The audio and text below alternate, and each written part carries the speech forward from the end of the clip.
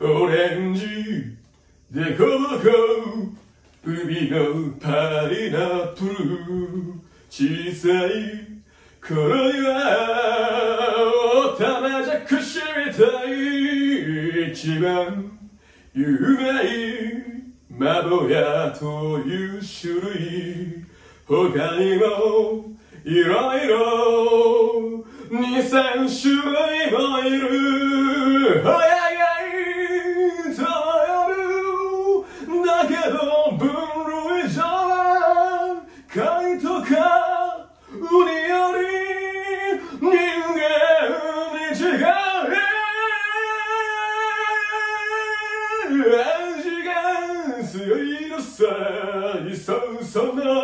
ものだよに行こうよ東北三陸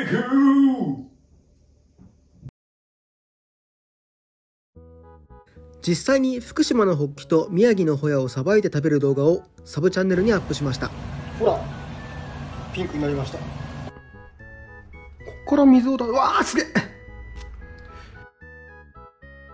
魚芸人の釣り料理チャンネルをぜひご覧くださいませ。うん